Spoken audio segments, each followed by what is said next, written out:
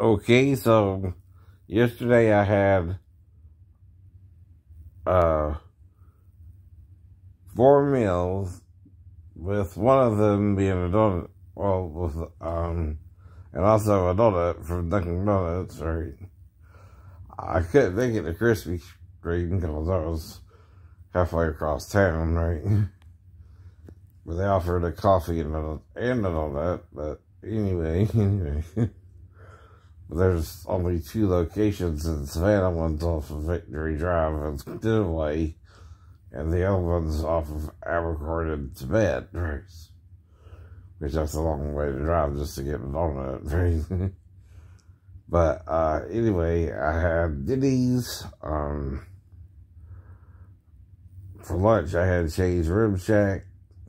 For uh,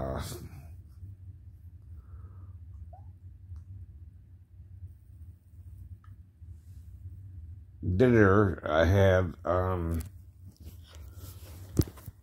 Olive Garden. And for um, the last one, I had Applebee's. And they had a like steak dinner under 530 calories, right?